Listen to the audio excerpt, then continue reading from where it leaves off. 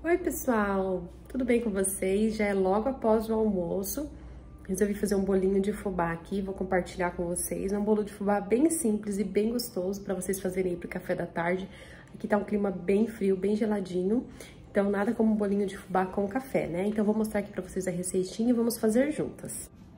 Olha aqui a receitinha, pessoal. Vai, ó, uma xícara de açúcar, uma xícara de trigo, é, fubá, uma xícara de óleo, uma xícara de leite, três ovos e o fermento, uma colher de fermento para bolo, tá?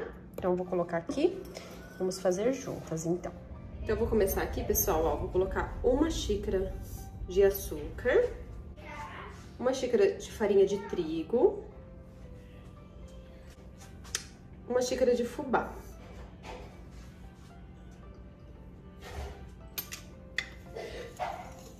Eu vou dar só uma misturada pra gente já colocar o óleo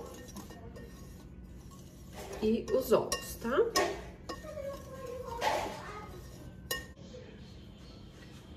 Uma xícara de óleo, tô usando óleo de soja. Uma xícara de leite. Dar uma mexidinha.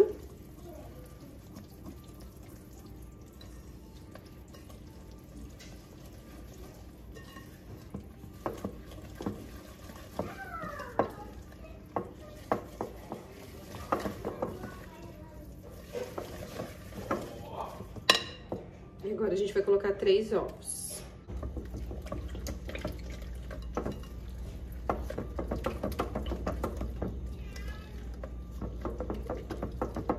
Pessoal, ó, agora o bolinho já tá bem, ó, mexi bastante a massa, mas eu não vou colocar o fermento agora, primeiro eu vou cortar a, a goiabada. Olha só, a gente vai cortar a goiabada pra gente colocar no nosso bolo, tá?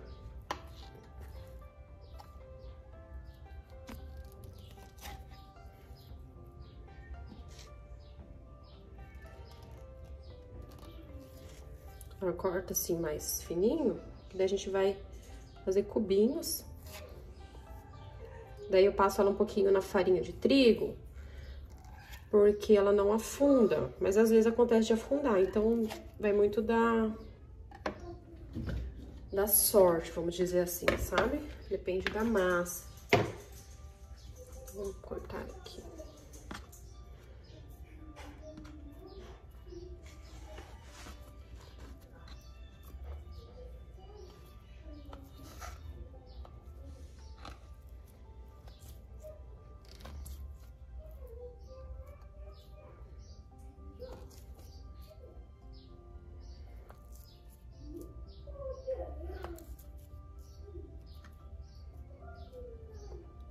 Esse é um dos meus bolos favoritos.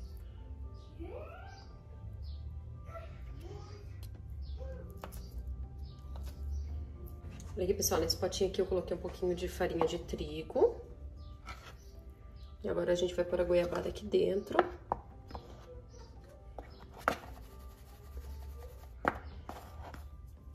Envolver essa goiabada no, no trigo, porque daí ajuda a não para não afundar a goiabada.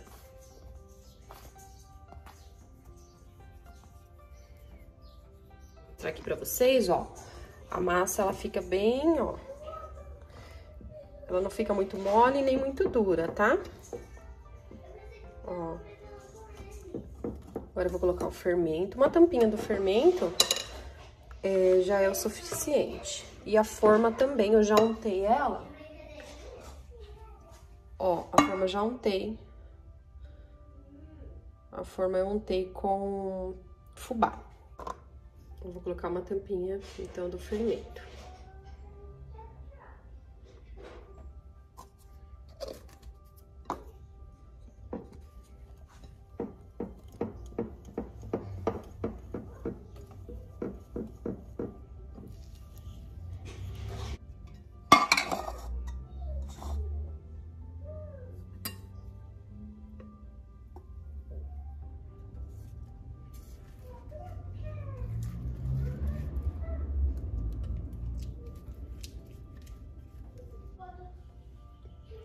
Agora, pessoal, a gente vai colocando a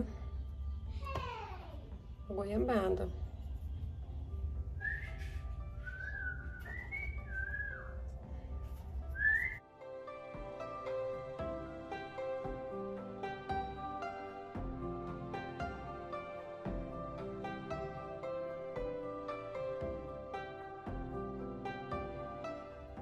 Olha aqui, pessoal, agora eu vou colocar pra assar, tá? No forno de 180 graus. Eu peguei a faca, dei só uma empurradinha assim pra baixo, ó. E agora vamos colocar pra assar, forno 180 graus, de 30 a 40 minutos. E agora, tá pessoal, olha só o que restou, né? A louça pra lavar. Já vou terminar já de guardar os itens, né? Passar um paninho aqui, ó. Que às vezes suja, né? E vou guardar, lavar essa loucinha, guardar, enquanto o bolinho assa.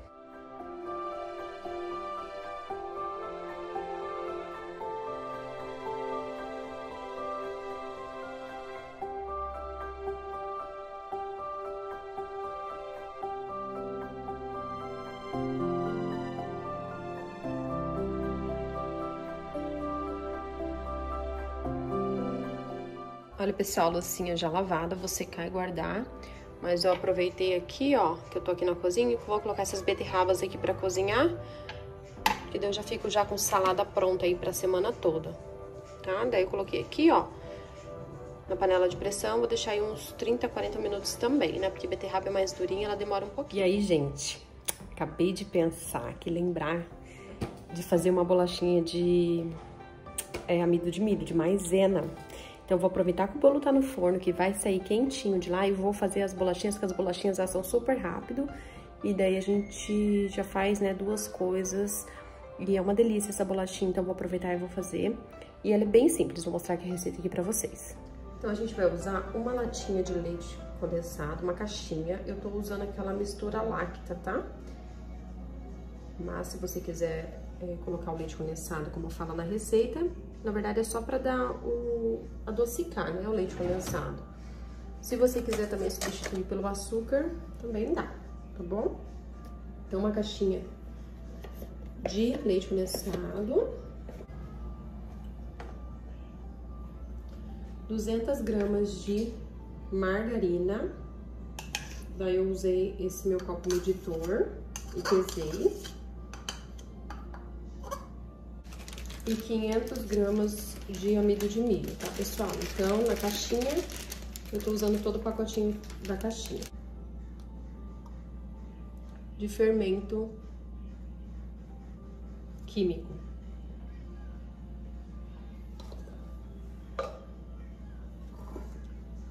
E agora, a gente vai pôr a mão na massa, tá?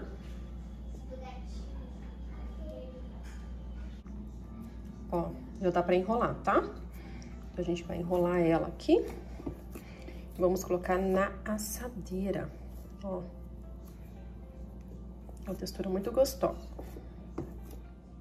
Então, agora vamos enrolar. Ó a textura, ela não gruda mais na mão, tá, pessoal? Eu vou fazer bolinhas. Ó, essa bolinha, esse aqui ficou muito grande. Então, eu divido no meio. Não precisa untar a forma, né? A gente usou manteiga na massa, margarina, né? usei.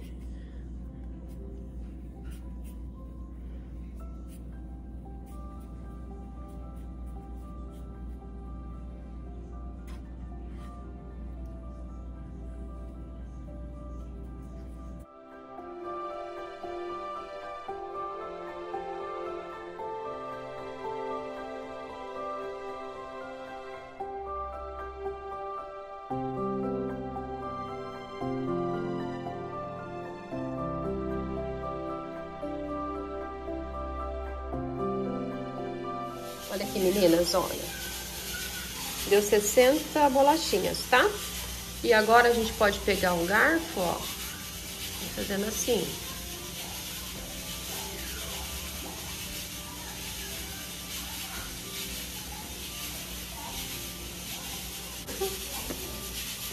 E aperta assim só pra fazer um detalhe, sabe?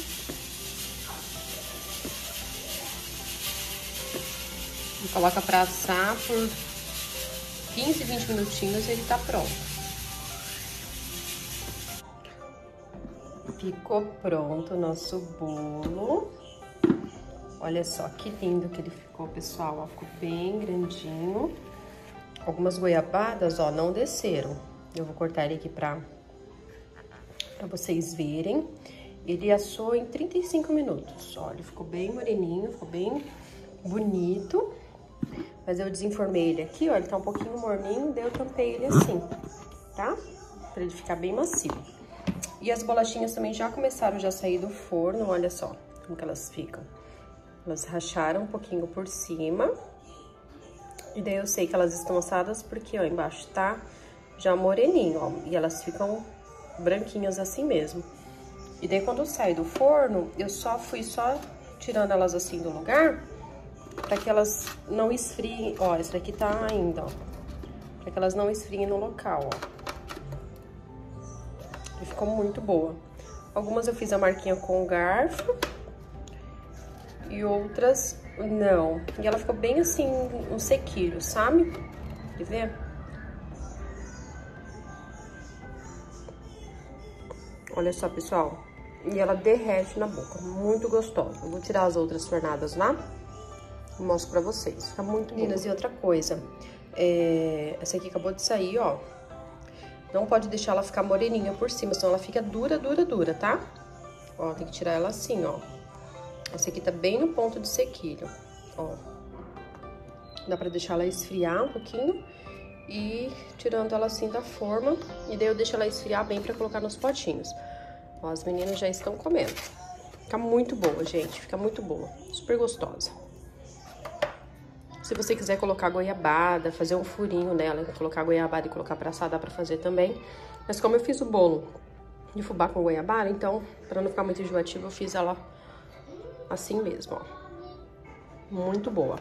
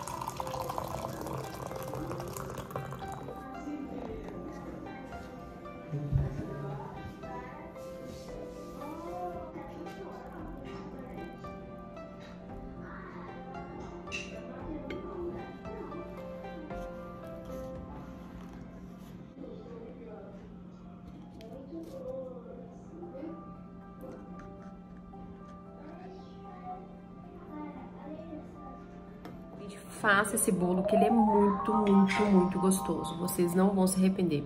Olha só, ele é super fofinho, molhadinho, muito gostoso. Porque normalmente, às vezes, bolo de fubá ele fica muito seco, né? Mas esse ele fica muito macio. E o que dá maciez nele é o óleo. Tá? Então, uma xícara de óleo não é muito. É o bastante pro bolo ficar assim, ó, bem macio, bem gostoso. E um cafezinho, né, fresquinho, não tem nada melhor. Espero muito que vocês tenham gostado. Se vocês fizerem essa receita, me fala aqui nos comentários o que vocês acharam. E me siga também lá no Instagram, é, canal Daniele Hidalgo. Vou deixar o link aqui na descrição para vocês irem lá e nos acompanhar, tá bom? Espero vocês no próximo vídeo.